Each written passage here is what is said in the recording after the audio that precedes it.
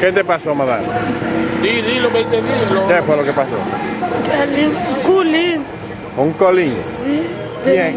¿Quién? ¿Cómo se llama? Kelly, Kelly. Eh, ¿Qué, qué, es tuyo? ¿Marido tuyo? sí, ¿Eh? sí. ¿El marido tuyo? ¿A dónde? El Chapolín, Villa sí, ¿Tú vas a poner preso? sí. Ok. Está bien.